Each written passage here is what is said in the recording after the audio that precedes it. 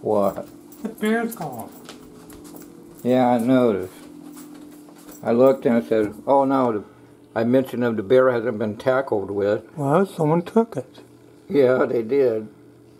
Well, I put bricks around the rabbit, but now the bear's gone. Oh man. This is ridiculous.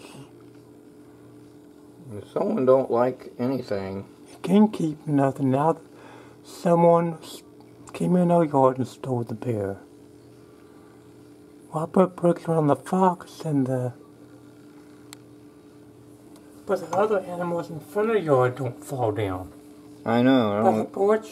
yeah, that's a good point. And you don't need to put bricks around them. No, just these animals. But we have a fox And we have we have fake squirrels in the front. and all that, but they don't fall down.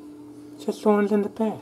It's like whoever it is, they don't like to be seen up front, only in the back, because they like to hide. But I don't know. But Your now, dad was wanting to put a surveillance camera here to keep eye on your car.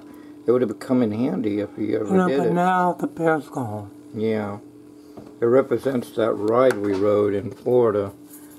Song of the South, Brer Rabbit, the fox, and the bear. Now the bear's gone. Abracadabra. Know, now you see the Statue of Liberty, now you don't.